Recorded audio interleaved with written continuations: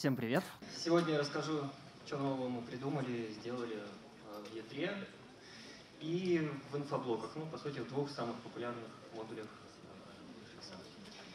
Э, Ну, конечно, начнем с ORM. Э, В прошлом году, на прошлой конференции презентовали объекты и коллекции, и, в принципе, это нам раскрыло достаточно такой большой ассортимент направлений, куда нужно дальше двигаться. И пошли мы в первую очередь э, в групповые операции. Ну, доклад будет, как и в прошлый раз, э, состоять практически полностью из код-сниппетов. Э, Во-первых, групповое добавление. То есть, когда нам нужно добавить несколько объектов, мы их можем сложить в коллекцию и одной командой добавить базу данных, сохранить.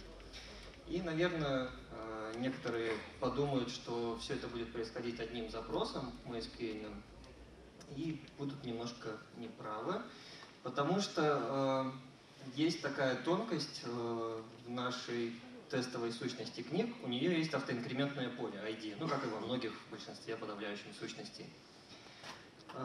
Специфика такова, что чтобы нам отработать событие, нам нужно знать ID вставленных записей. И когда мы вставляем одну запись, мы этот ID получаем э, функции там, драйвера last inserted ID какой-то условно.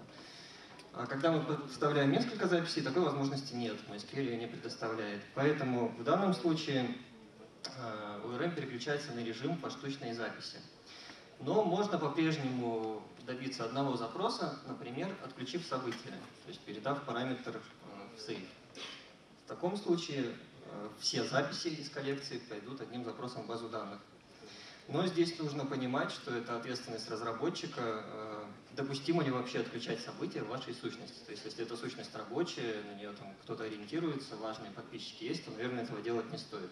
Если же сущность какая-то там служебная, внутренняя, то почему бы и нет? Ну, может, у нее и в принципе не предполагается никаких э, подписчиков событий.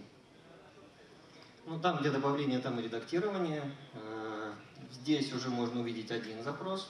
Но, опять же, с нюансом, что набор данных, э, набор полей и набор данных должны быть одинаковые. То есть, если вы меняете что-то одно во всех объектах, то, соответственно, это можно провести одним запросом. Но это уже ограничение MySQL, по сути. То есть разные данные, если хотя бы в одном объекте что-то будет отличаться, то один запрос сорвется и все будет происходить поштучно. Э, Ну и здесь, в принципе, можно увидеть э, еще один момент, который можно оптимизировать. Это как раз установка значений в цикле. Для упрощения сделали это одним методом, то есть у коллекции появились именованные методы, так же как у объектов. Э, И таким образом можно сохранить немножко строчек кода и все это одним запросом выполнить. При этом методы также не нужно запоминать, то есть генератор аннотации, он теперь не только объекты аннотирует, но и коллекции. То есть все это будет в PHP Storm по-прежнему подсказываться и красиво и удобно работать. Э, В объектах тоже немножко мы поработали, Э, но там скорее микроменеджмент э, значений. В данном случае в объектах появились метод isField, то есть он отвечает на вопрос, содержит ли объект э, актуальное значение. Ну, то есть актуальными, я напомню, это являются значения, которые хранятся в базе данных. Ну, либо в которых вы уверены, вы их там через wake-up как-то в объект подложили, вы точно знаете, что это вот то самое значение, которое объекта должно быть. Вот, соответственно, э, isField отвечает на вопрос, есть ли в объекте значение какого-то конкретного поля именно актуальное. А Второй метод isChanged. Э, Он на два разных вопроса отвечает в зависимости от, от статуса объекта. Если объект существующий, то есть он из базы данных был выбран или завейкаплен, тогда, э, ну, по сути, говорящее название, он отвечает на вопрос, изменялось ли значение. То есть было ли установлено в процессе какое-то другое значение. И еще не сохранено в базу данных. То есть это значение как бы временное, оно еще в памяти, и оно является измененным. В случае с новыми объектами э, метод отвечает на вопрос, было ли в принципе установлено какое-то значение. Ну то есть, по сути, этот метод э, говорит о том, что в процессе сеанса кто-то воспользовался сеттером и записал это значение в объект, но оно еще не сохранено никуда, то есть оно пока что еще вот такое плавающее. Третий метод это, по сути, комбинация предыдущих двух, э, ну, когда нам нужно знать, есть ли вообще значение поля в объекте. Нам не важно, у нас там, допустим, обработчик событий, и мы просто хотим узнать э, с какими-то целями, есть ли значение поля, хоть э, оно актуальное, хоть оно временное там пока что в памяти, нас это не интересует, нам просто нужно на что-то опираться. Э, конструктор объектов принимает теперь массив значений, который, ну, по сути, внутри там отрабатывает сеттер. Ну, это не сказать, чтобы какое-то суще существенное изменение, скорее косметическое. И на самом деле, на мой взгляд, такого кода в высокоуровневых каких-то элементах, типа компонента или контроллера, быть не должно. Ну, потому что откуда у вас может взяться этот массив? Например, он из формы пришел. Значит, по-хорошему, Э, должен быть обработчик формы, ну, там, конструктор формы, еще что-то, что обработает входящие данные, отвалидирует, что-то там с ними сделает, отформатирует, и вам вернет ваш высокоуровневый код уже готовый объект. То есть это, по сути, ну, такой костыль. Но, тем не менее, жизнь показала, что он востребован, и что это нужно сделать. Э, кроме того, те, кто в свое время не дождались э, объектов URM, они сделали свои объекты, и вот нередко там можно встретить именно такой подход, то есть когда конструирования объекта начинаются с передачи массива. Э, соответственно, такая конструкция э, сделает переход со своих объектов на ORM ну, менее болезненными, то есть больше совместимости останется. Э, вспомогательные данные, ну, все, наверное, пользовались рантайм полями, можно их назвать вспомогательными данными, и до настоящего момента они были доступны через универсальный getter, get, в который нужно было передать название поля, Сейчас мы эти данные выделили в отдельный контейнер, э, который инстанс э, нашего стандартного типа dictionary. И теперь можно не только, ну то есть можно теперь и по-старому получать runtime поля, и можно обращаться непосредственно к этому контейнеру, получать поля, и можно еще и свои данные туда какие-то восстановить. То есть, ну, если вам нужно прицепить какой-то свой набор данных к объекту, чтобы он за ним следовал, что нужно было раньше сделать? Нужно было отнаследоваться, там свойства свои какие-то, например, описать и использовать их. Ну, если в упрощенном виде вам нужно просто вот буквально немножко данных положить, и пусть они вот с объектом ходят, то можно воспользоваться вот этим хранилищем в своих каких-то целях. А, ну, тут немножко забежим вперед, раскроем архитектуру инфоблоков. На самом деле, кто пользовался другими ORM, они могли встретить понятие скопа, то есть это такая безусловная, ну, либо именованная штука, которая выполняется во время запросов. Ну, нам понадобился у нас внутри безусловный такой глобальный scope. А, что это такое? А, у нас есть таблица с элементами инфоблока, в ней хранятся ну, все элементы, то есть всех типов. То есть, по сути, у нас в одной таблице хранит, хранятся данные разных типов. И мы хотим навесить на эти данные разные сущности. То есть один инфоблок — это одна сущность, другой инфоблок — другая сущность, но все они в одной таблице. А, мы создаем несколько сущностей, но нам нужно их как-то логически ограничить, чтобы каждая сущность отвечала только за свой диапазон данных. И таким образом вот, можно определить метод, э, который будет вызываться при каждом запросе, абсолютно при каждом, в него передается query, и с ним можно делать что угодно. Ну, то есть самое очевидное это фильтр какой-то добавить, чтобы разграничить данные, но на самом деле можно и туда и select добавить. То есть вот, были запросы, например, чтобы при каждом, э, при каждом запросе к базе данных обязательно какие-то поля выбирались. Вот можно воспользоваться методом и в query добавить какие-то селекты, ну либо группировки. Ну, то есть, в принципе, это, наверное, в некотором э, роде аналогия view из MySQL, то есть можно что-то там навешивать подписка на события, ну, это старый еще очень формат, э, еще со времен там бэк-референсов. Э, у многих вызывало нарекание, критику, часто очень ошибки допускались, то есть нужно было помнить там имя сущности там указать, или book, или table, а нужен начальный слэш или нет, а как там двоеточие, ну то есть как бы не, не совсем хорошее решение было, мы его поправили в более регламентированный, такой стандартизированный способ. То есть в ORM появился свой менеджер событий, и в него мы можем передать э, класс сущности и указание на код события через константу. То есть помнить, по сути, ничего больше не нужно. Э, ну и для пущей гибкости э, в качестве идентификатора сущности подойдет как класс дата менеджера или инстанс менеджера сущности, или класс объекта, или сам объект. В общем, любой артефакт, по сути, который там производный от сущности, можно передать то, что у вас под рукой есть, и подписаться на события. Это что касается ORM. Теперь перейдем просто к изменениям в ядре. Э, ну, раз тему событий подняли, то было такое у нас небольшое изменение, э, ленивые параметры в событии. То есть, когда у вас параметры вычисляются, там, нужно в базу данных сходить или еще что-то посчитать, что-то сделать, и потом обидно, если никто из обработчиков этими данными не воспользовался. Ну, у нас, по крайней мере, такие случаи вот есть в некоторых модулях. И для них мы сделали ленивые события, то есть эти события начнут читаться только тогда, когда кто-то из обработчиков реально запросит, скажет, что мне нужен какой-то там параметр. Тогда эти события посчитаются и выполнятся. То есть лишней работы не будет. Э, в Ajax-контроллере тоже есть пара новинок. Э, ну, типичный Ajax-запрос. У нас есть контроллер для работы э, с папками, ну, в модуле диск, например, и передаем ID папки. Но в контроллере мы не хотим получать ID, ну то есть зачем нам ID, нам нужна папка, объект папки, мы работаем с объектами. И в каждом экшене мы хотели бы иметь объект. То есть в данном случае придется э, в каждом экшене по ID получать этот объект, инициализировать, что-то с ним делать, либо это вынести в отдельный метод. Но в любом случае в каждом методе придется что-то писать в эту часть. И добавили автосвязывание, то есть можно смапить этот ID на инициализацию объекта таким вот образом, передать там класс, в том числе это могут быть дочерние его классы, передать название параметра, и, собственно, callback, который этот объект будет инициализировать. И тогда в каждом экшене э, будет, для каждого экшена будет происходить данное преобразование. Э, обработка исключений. Раньше она только системно делалась, но такая небольшая недоработка была. Теперь отдаем это на откуп разработчикам, то есть можете с исключениями делать в Ajax контроллере то, что посчитаете нужным.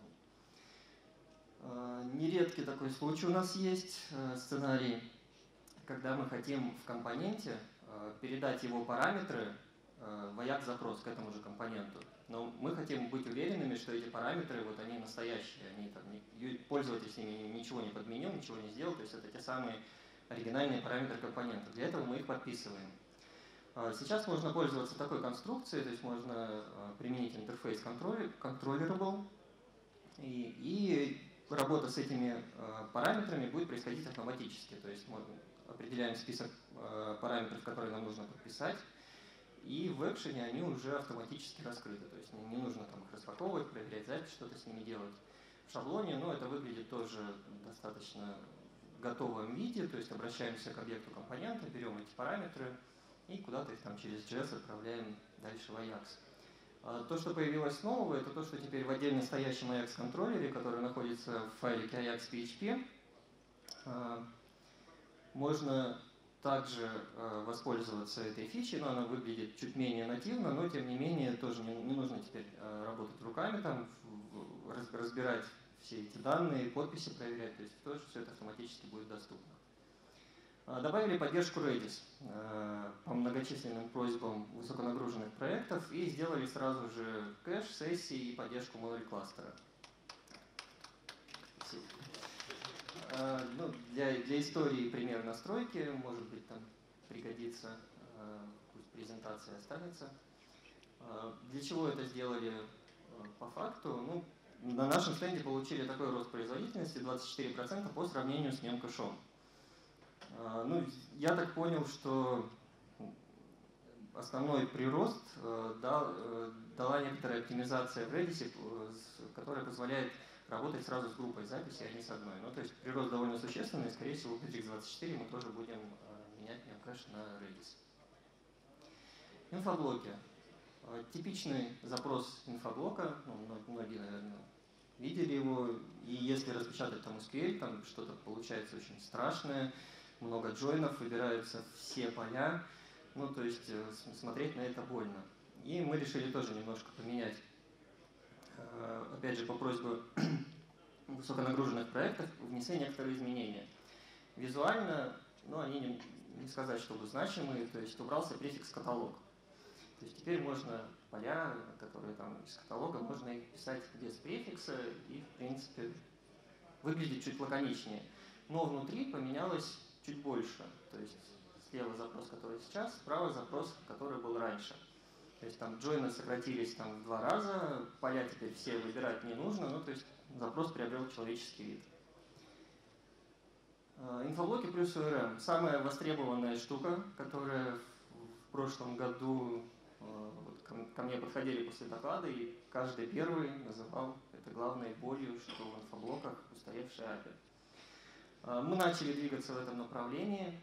Э, выглядит это примерно так же, как в файловых блоках можно узнать почерк, то есть каждый инфоблок – это отдельная сущность, отдельный тип данных. Ну, разумеется, там доступна работа с, э, со, со свойствами, то есть можно и выбирать их, и фильтровать без каких-то там дополнительных костылей, поддержка списков, ну, то есть базовые типы, все это присутствует. Кроме того, э, в старом API там секциями тоже при, приходилось что-то там придумывать, то есть здесь секции доступны нативно, можно сказать, то есть, по сути, это отношение one-to-many от элементов к секциям, и они доступны на уровне объектов, так же, как и любое другое отношение. Если у вас свойство ссылается на какой-то элемент другого инфоблока, то теперь там тоже не просто ID этого элемента, а там полноценный объект именно того инфоблока, на который вы ссылаетесь. Ну, то есть работа ничем не отличается от любых других сущностей ORM. А, если у вас там кастомные типы, то предусмотрена возможность, э, к вам там придет а, сущность, а, свойства, и вы в эту сущность добавите какие-то нужные поля, то есть Э, чтобы все это работало именно в физике. Э, ну, под капотом там поддержка фасетных индексов для быстрой выборки.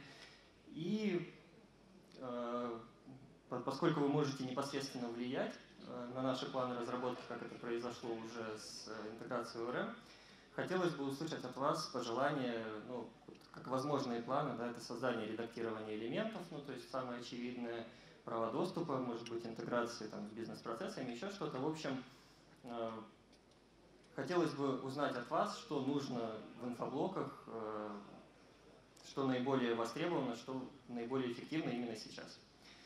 И у меня, в общем-то, все. Спасибо. Отлично. Дим, тебе сразу же вопрос. Когда будет обновленная документация по D7? А, а что, именно по, по презентации или, Вообще все. просто?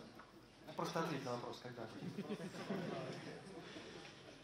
Ну, по, по ORM документация есть. По D7, ну, в принципе, какие-то самые основные моменты есть. То есть, вот, как конкретику, наверное, какой-то более конкретно хотелось. Традиционный вопрос, вот ты сейчас вот это все рассказал, когда это будет? А, самый, самый главный частый вопрос, мой любимый. Ну, будет Большая часть этого уже есть, э, что-то даже там уже в очереди, в очереди в тестировании стоит, да, и, и не проходит уже пару недель. Вот, ну, в общем-то, в общем-то, это, это все планы на весну. Да, это все и уже в процессе здесь, выпуска. Вот здесь еще вопрос по, по поводу получения презентации. Коллеги, мы вышли централизованно, сейчас пока что дать не можем. Давайте вопросы из зала, у нас еще целых 10 минут. Доброго дня, Дмитрий. Очередной год говорю спасибо человеку по имени Дмитрий Медведев. Вопрос вот какой. Вы сделали Redis для сессии, мы делаем Tarantul, нам как-то поприятнее. Там можно сделать, чтобы можно было просто наследоваться от класса, потому что сейчас в исходниках Bittrex if э, ничего файлы, if memcache, new класс memcache, то есть никакой, ну, никакого поиска класса по сути нет. И чтобы внедрить Tarantul, мы фактически в ядро залазим, делали еще один свой if, и становится плохо. Да, да, такая возможность добавлена. Появилась, да? Я указать свой класс, там, или файл, или подключить свой. Здесь вопрос у нас есть, давайте. Раз, раз. Дим, привет. Да, привет. А, у тебя появилась прекрасная ORM на инфоблоке. А, теперь а, вопрос следующий. Вот у нас есть обычный датамаппер, где описана наша собственная сущность, наша собственная таблица. Е- если мы через reference fields, а, можем ли мы вообще через reference fields подписаться на этот, а, а, собственно, объект а, инфоблока или нужно там компилировать его перед этим как-то? Ну, там пока не совсем решен вопрос, как удобно э, имя класса получить этой сущности. Ну, то есть там в примере на слайде было, да, то, что мы, у нас есть один инфоблок, и из, из, из него мы из ID получаем имя класса. И да, на него можно ссылаться, то есть э, если вы на него ссылаетесь, срабатывает, срабатывает автолодер, поднимает инфоблоки, поднимает эту сущность, и все работает ну, нативно. Но это если он скомпилирован, а если еще не было? То есть, Он- например, мы из своей сущности получаем. Он скомпилируется, автолодер его скомпилирует. То есть уже подходится. Да, то есть он понимает э, принцип именования э, классов инфоблоков, он видит, что хотят класс инфоблока, он его компилирует, и все, он, инфоблок присутствует в системе, можно с ним работать. Дима, смотри, знакомы ли тебе такие компоненты news list, news detail? Э, К сожалению, нет. Окей, хорошо. Когда ты их перепишешь? На ОРМ, на новое. Ну, во-первых, это не я Не получилось переписываю. отмазаться, что эти незнакомые, не надо. Во-первых, это переписываю не я, все-таки мы работаем командой большой. и, Подожди, ну, то есть так, так или иначе. Тебе известно, когда они будут переписаны? а, Очень-очень нужно. пока таких планов не было. Ну, пожелания готовы слушать. Давай. Дим, спасибо за обновление. Это полезно. Но у меня тоже больной вопрос по компонентам, ну и в целом по системе. Скажите, а когда-нибудь вы будете там ковырять в недрах? Меня интересует авторизация пользователя, восстановление пароля, вот вынести это из глобального непонятно чего объекта, чтобы можно было нормально управлять сессией регистрацией вот, вот этими вещами. Ну, сложно сказать, на самом деле не обсуждали этот момент, ну, потому что, наверное, тоже страшно. Смотреть на, ну, то есть что-то там планировать. Ты же их не знаешь, что ли, или что? Нет. Не слышал никогда? Знать-то я знаю, говорю, то, то что э, Ну, когда я- у самих мысли возникает, то очень быстро их Я отгоняем. тогда просто еще раз да, пингану так. Ну, Да. да, это, это- это важно, да, пингуть. Спасибо. Давайте еще. Привет. Спасибо за доклад. Э, Вот интересует вопрос, появится ли возможность отключить э, JavaScript ядро, э, которое подключается вот, э, в SNU, и часто возникает потребность э, ну, отключить, ее, ну, если он не используется. А, Ну, здесь я, наверное, не подскажу, это лучше вот на митинг-поинте встретиться с, с кем-нибудь из наших ребят. Можно, можно вырезать. Вам, думаю, в кулуар, да, так, на, на общение. Вот здесь еще вопрос спрашивают не, не по теме, будет ли у нас авторизация по телефону. Коллеги, она есть в тестовом режиме, пока что ее еще и не анонсируем. Но она работает. Еще давайте вопросы из зала. Э, Дима, такой вопрос. А, Есть query фильтры. Вопрос, будет ли CI блок element get list их поддерживать? Потому что, ну, очень нужная штука. Ну, в старой API, опять же, то есть что-то там менять очень тяжело, и вот, вот это, наверное, лучшие изменения, которые удалось нам добиться по производительности. Но а, а зачем в старой API? Есть же, появляется новая API. Появляются новые API, но все равно пока до выборок не дотягивает. Все равно удобнее написать в CI блок element, дописать какой-нибудь join и по собственной табличке еще получить данные. А так получается нельзя. Получается нужно сначала либо через собственную, либо через датамапер. Ну, это только начало, то есть, опять же, давайте пожелания, и на следующей партнерке, возможно, уже будет то, то самое, что, то, что нужно людям. Смелее, у нас еще вопрос, еще время есть у нас, целых 6 минут. В групповом методе save, когда выполняется, э, как обработка ошибок происходит? А, Там возвращается такой же объект, как и при одиночной операции, объект результата, и в случае, если какие-то там несколько ошибок, они все накапливаются в один объект. Ну, то есть а- объект один, и в него А как накапливается. знать, какого именно конкретно произошло? А, Ну, вот здесь, да, такой вопрос уже пос- поступал буквально там вот вчера на прогоне презентации. Что-то, что-нибудь сделаем. Ну, не предусмотрели, но добавим туда идентификатор и отсылку к объекту.